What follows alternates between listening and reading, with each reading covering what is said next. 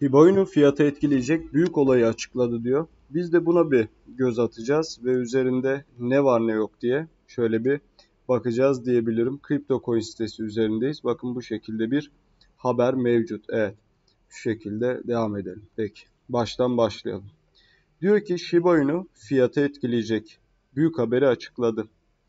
Shiba Inu meme token olarak başladığı yolculuğuna önemli bir DeFi oyuncusu olarak devam ediyor.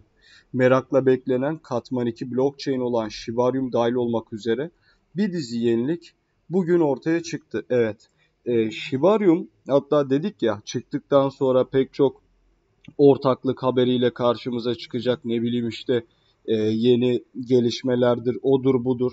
İşte bu da onlardan bir tanesi. Üzerinden anlatırsak adamlar şu anda ne yapıyor? Dijital kimlik üzere çalışacaklarını e, söylüyorlar. E tabi bu da bir ortaklık kuracakları anlamı taşıyor ve benzeri. Shiba Inu geliştiricileri dijital kimlik hizmetlerini tüm uygulamalara genişletiyor. Burada asıl önemli olan e, şeyden ziyade tabi ortaklıktan da ziyade bunu yapıyor olmaları.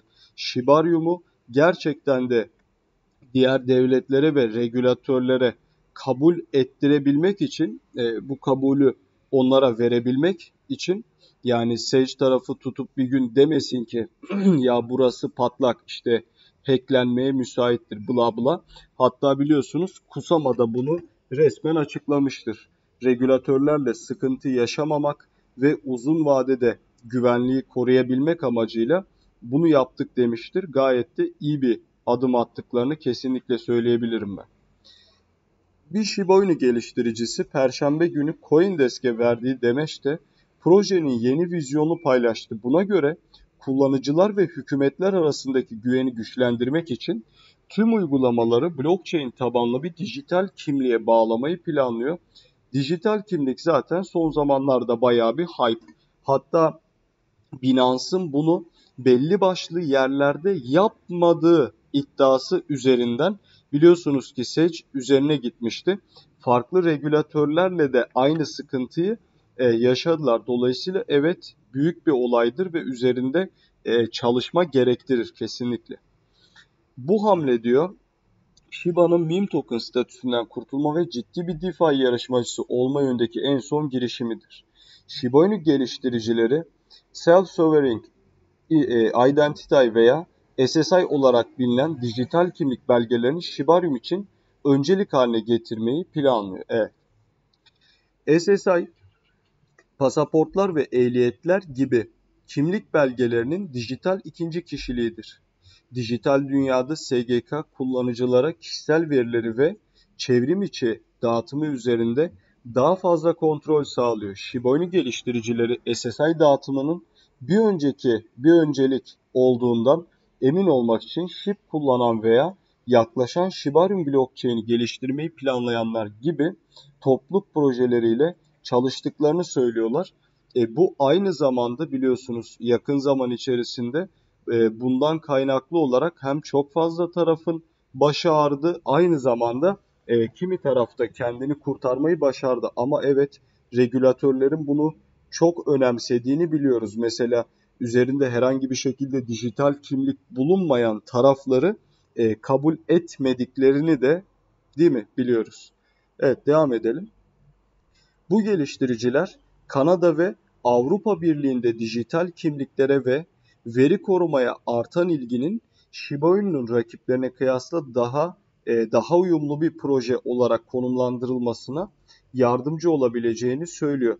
E tabii ki Shibarium'un farklı noktalarda e, kullanılabilmesi için bunun olması şart. Doğrudur. Bu arada Kanada'da yakın zamanda biliyorsunuz farklı farklı haberler vererek piyasa için oldukça e, olumlu, güzel ve sağlam adımlar atmıştır. Bunu da altını çizelim. Shitoshi Kusama, yeni bir küresel standart için zemin hazırlıyoruz. Ayrıca Birleşik Krallık'ta diyordu, ona da çok kısa değinim.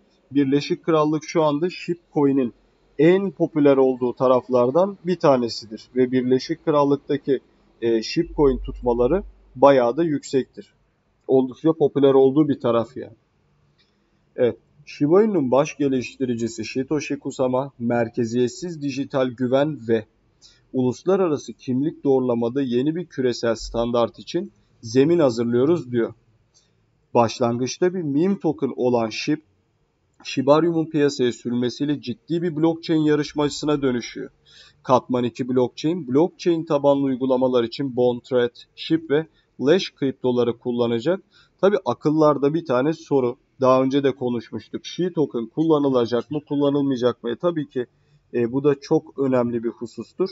Yani bunun olup olmaması, nitekim e, ABD'de, Avrupa Birliği'nde biliyorsunuz şey olduğu için ambargo altında olduğu için algoritmik stable coin'ler ikisi çok fazla şeyi değiştirecek e, çıkacak diye düşünüyorum. Düşünmemin sebebi geçmişte bunu söylediler ve bunun üzerine ekstrem herhangi bir açıklama yapmadılar. E, dolayısıyla yani ne olursa olsun sonuçta kıyamet bile kopacak olsa o çıkacağı zaman sen en son çıkacak dediysen benim bunu ele almam lazım. Yani bunu kabul etmem gerekiyor ki bu şekilde olsun.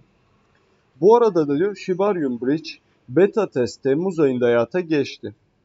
Yeni köprü şu anda iki ağ arasında token transferine izin veriyor. E muhakkak sonuçta köprü olmadan olur mu olmaz. Ethereum'la aralarında köprüleme şart. Diğer blockchain'lerle de bunu yapabilirler diğer ağlarla. E, şart değil ama e, yapılabilir ve yapılması ne kadar köprüleme olursa o kadar iyi olacaktır. Ya belki de uyumda kozmos skalasına bile erişebilirler. Shiba Inu yeni geliş, geliştirmeler eşliğinde çeşitli metriklerle ATH yaptı. SHIB için diyor geçtiğimiz ay faaliyetlerde önemli bir artış meydana geldi.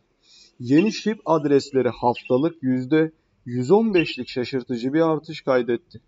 Bununla birlikte yatırımcılar arasında benzeri görülmemiş bir heyecan ve beklenti gözlendi. Bu ivme Temmuz ayında zirveye ulaştı ve son 7 gündeki %22'lik artışla hala devam ediyor. Ancak bu patlama sadece yeni adreslerle sınırlı değil. Bunu gün içinde de yine konuşmuştuk. Şu anda toplam adres sayısında korkunç derecede bir yükseliş yaşanıyor. E sebebini anlayabilirsiniz. Hakeza e, farklı farklı alanlarda birincisi hem balinalar tarafından yeni girişler ve dipten toplamalar mevcut. İkincisi küçük yatırımcılar da bu etaba katılıyor. Ya, o yüzden bunlar çok önemlidir. Boş olmayan cüzdanların miktarı şip belirteçleri 1.24 milyon adrese ulaştırarak e, mutlak maksimuma ulaştı. Evet. E, durum bu. İlerleyen videolarda da değerlendirmeyi sürdüreceğiz. İzlediğiniz için teşekkür ediyorum. Abone olup videoyu da beğenebilirsiniz. Bol kazançlar dilerim herkese. Hoşçakalın.